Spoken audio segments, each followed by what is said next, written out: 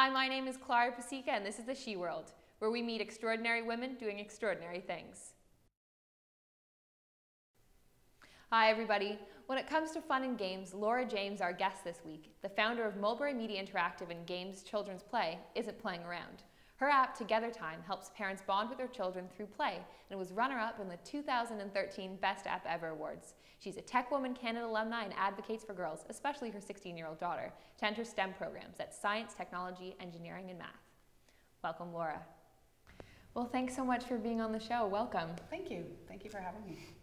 So I guess to start off with, um, for those of us who might not be at all familiar with uh, your field, can you tell us a little bit more about uh, what it is you do? Sure. I'm actually a web producer, mm-hmm. um, and that and mobile as well. So a mobile and web producer, and essentially if you think of all of the traditional media like television, radio, and music, and other forms of media, um, it's, it's essentially the same. It starts with an idea, and mm. then you go and you reach out and you try and find all of the pieces that, that you could put together to make that idea a reality.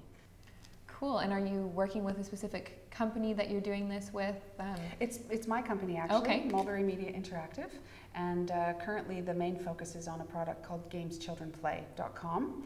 Uh, and what we're doing, basically, uh, I, I had realized that uh, we're really losing so many of the songs and rhymes and games, and you know those hand clapping yeah. games with Mary Mack kind of thing. Yeah, yeah. So we're losing those uh, traditional songs, and and uh, and I'm scouring the world to basically archive all of them and have them all in one place. Every culture, every every language. So Itsy Bitsy Spider in German, Spanish, and French. wow, yeah. that's fantastic. Mm-hmm. So if someone was thinking about going into this type of field, are there um, specific sort of personality traits or characteristics that someone would need to, to pursue this career? You know, there's, again, like other media, there's something for everyone. There's always a piece of the puzzle that's, that, that you could fit yourself into that you'd like to do, whether it's writing or the graphic design elements or the programming. But programming in particular is something I find that, that women especially hold themselves back from, from mm. getting into.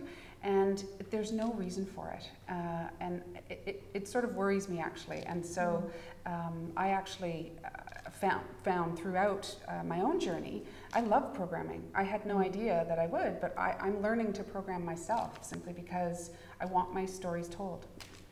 Right, right. Having your, your stories told, I think that um, when we think of this type of field, we do still see it, I think, is really uh, male, male dominated.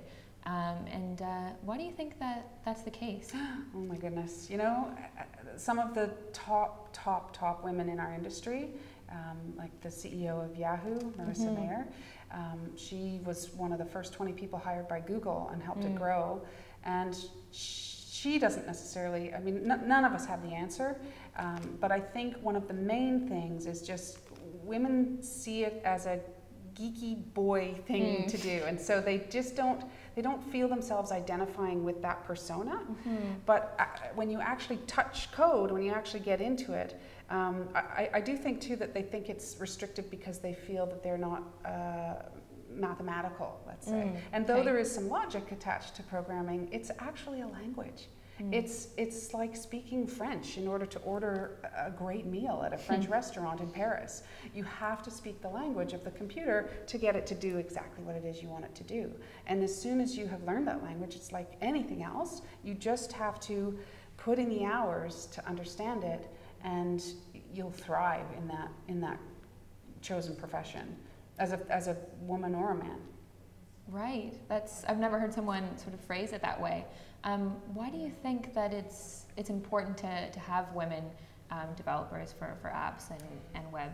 Yeah, well, take my uh, my story for mm-hmm. example. Um, you know, to to to find a programmer who's interested in hand clapping games and songs and rhymes for parents is not an easy thing necessarily. They're, you know, they're interested in first-person shooter games. Right. So, um, and not all of them. I mean, these of are course. stereotypes, obviously. But uh, essentially, if women don't get into programming, then women's stories won't be told in the same way that before women were singing, uh, you know, or taking a larger role in, in the music industry, in the film industry, um, in any media, actually. And I really hope that women understand sooner rather than later that we have to take hold of this medium quickly before it is primarily dominated by men. Mm. Yeah, it's really interesting. Because it's still new, is I guess what I'm getting Yeah, at. It's, yeah, yeah. it's relatively new, but everything will be on the web, everything. And we don't, we really would love to see uh, a 50 50 split of, of what content we're able to access. hmm So you think it's actually about the content that's that's going to be developed for the larger? Absolutely. The yeah. women's stories need to be heard, and Mhm. the best way to get those heard is if, is, is if you can hands on create it yourself and program. So if someone did want to, you know, start creating uh, things themselves, um, are there different um, training programs or certain degrees that you would recommend if this was a field that a young girl was interested in getting into? Yeah, you know what? You need your physics. You need to sort of lock down all of those things to keep your options open. Right. To take a computer software engineering type thing, if that's Mhm. the direction you want to go. But even prior to that, or during, or uh, if you if you don't want to necessarily take that route full time, I still think it's important. There's so many resources out there right now. There's Skillshare. There's Code Mhm. Academy. There's a place called Treehouse. There's Um, there's so many places where you can pay fifteen dollars Wow. and take a ten week course. That's Or- that's that's crazy. the Codecademy and Treehouse are, are absolutely free. So you and you also have so many resources to just uh, you know like Facebook type of communities where you can just reach out and say, hey, I'm trying to build this website and I'm stuck. Can you help me? So you're never alone when you're attached to this world of programmers. They they all help you through, and they particularly want to help young people and young women Mm. get through it because everyone knows that there's a gap that needs to be filled. hmm Um, so the specific app that you designed, Mhm. um, how did that process of designing a, an app work? Take me through. Um, you know, did you design it? Did you how did you bring people on board? How does that work? You know, actually, what happened was uh, I actually helped launch uh, a television network here called Treehouse, Oh, Treehouse fantastic! TV. And uh, while uh, while I was there, I met some terrific talent, obviously, in the in the preschool education space. Mhm. Um, but I I had um, had left the television industry and taken a digital postgrad. And while that was happening, I, the iPad was launched. So the Mm. iPhone was, was out a couple of years earlier, and so we knew what that could do. But then when the iPad came out, I realized I had all of these DVD series in my head, in the back drawer of my filing cabinet, and in the back drawer of my head, um, waiting to be produced. And one of them was um, this teaching parents how to interact and how to bond with their children better through these songs and rhymes called finger plays, like Itsy Mhm. Bitsy Spider. And so when the iPad came out, it was just a ding. It was like a eureka moment. And um, so essentially, we just we took that, and uh, and I knew exactly what I wanted to see. I, I, I got a really fabulous children's entertainer named Kathy Reid-Naiman. She's wonderful. It was about a four month process, but Okay. it starts with brainstorming and drawing it out, and what is the content, and what where do we want it, and how do we want it to look, and what's the color palette, and how many um, how many do we want parents to go through, and do they get it for free, and do they pay, and Mhm. all of these these decisions are they're just Mhm. one decision after another, and then working with the programmer and the and the creative other creative people to sort of make it happen. Great. So you have the app here. Can I you, do. Can you show it to us? I certainly can.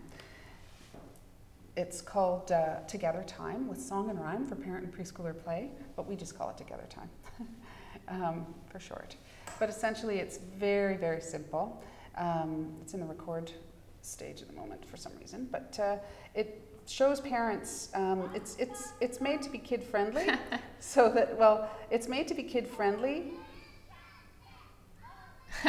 because children love to watch these things, obviously, and they love to do them at school. But when parents want to learn it, they don't necessarily have access to the same resources that a childcare worker does. And so Kathy just gives them a really very simple uh, A little tutorial. sort of tutorial of, of how to do it. And so, and then if you don't have um, the ones that you like here, you just record your own. So I can record you, sing a song, sing a song. A B C D. A B. There you go. so there you are, and then you're you basically you just label it, and Oh my gosh. it's very simple. It's How very simple, and parents do love it. That's what started it all, and so now we're reaching out to get, as I say, world domination and get every. Uh, Every song, every rhyme, every game, every story. Amazing. So many things are being lost, and we just want to make sure they're archived and that parents have access to them the touch of a finger. That's absolutely amazing. Mm. Oh, and that sound means that uh, that's all the time we actually have for our interview today, because that sound means it's challenge time.